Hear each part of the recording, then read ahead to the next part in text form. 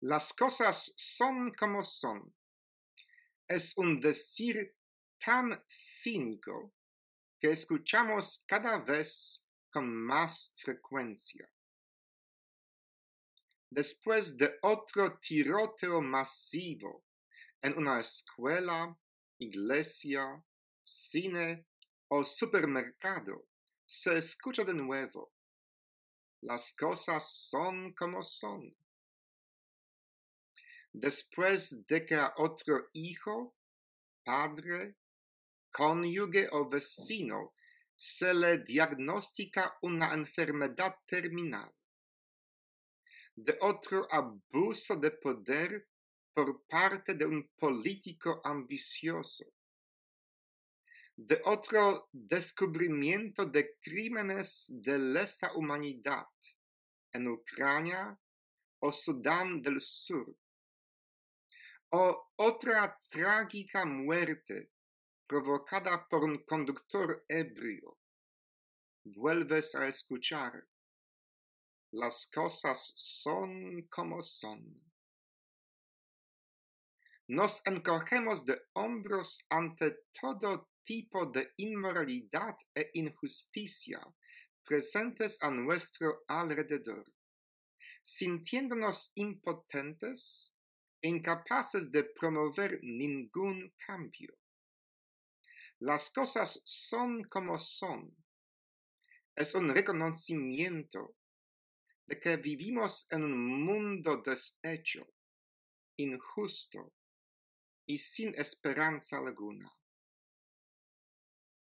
Sin embargo, el profeta Isaías nos alienta hoy a usar un prisma menos cínico e imaginar un mundo donde un lobo será el huésped del cordero. El bebé jugará junto a la garida de la cobra y ellos convertirán sus espadas en rejas de arado.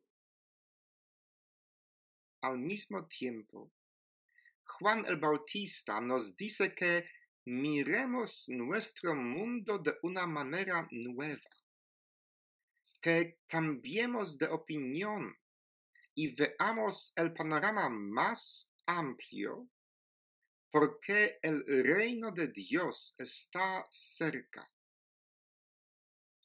La mala traducción de la palabra griega metanoeite que escucharon hoy hace que Juan el Bautista diga arrepentirse, pero es una traducción infeliz e incorrecta. Esa palabra griega traducida correctamente significa enriquecer tu opinión cuando ves un panorama más amplio, el del reino de Dios no arrepentirse o hacer penitencia por el bien del reino. Tanto Isaías como Juan el Bautista nos recuerdan en este segundo domingo de Adviento que las cosas son como son. No es el carácter apropiado del pueblo de Dios si creemos que este mundo ha sido creado por Dios, si creemos que este mundo ha sido amado por Dios, debemos mirar este mundo con una mente diferente.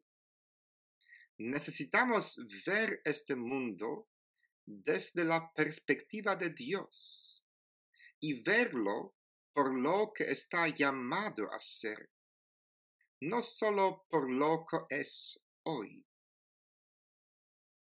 Aunque no seamos el Mesías, ni siquiera Papa Noel, estamos llamados a ver este mundo como un lugar mejor y también a hacer este mundo un lugar mejor el reino de Dios el maravilloso amor de Dios está a la mano.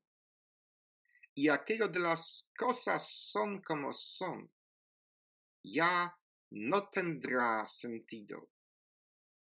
Amén.